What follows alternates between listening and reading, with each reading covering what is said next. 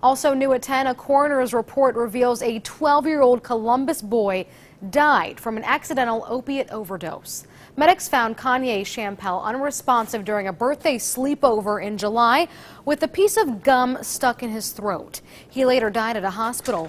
According to an autopsy, it wasn't the choking that killed him, it was fentanyl.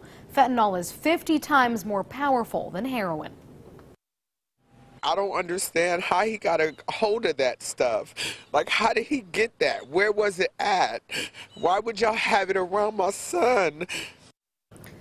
The autopsy is not so specific on how the fentanyl got into that 12 year old system.